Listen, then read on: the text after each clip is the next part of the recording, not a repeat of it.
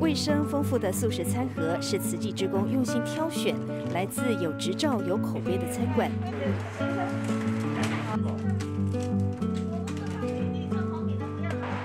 中西洛慈济人第二次到嘉惠尔医院慰劳医护人员，推广素食，再加把劲。A saying of compassion first, compassion from the employees to the patient. But you're showing us compassion from you to our employees. 而且他今天说，我今天穿得很整齐，来啊接受这个素食。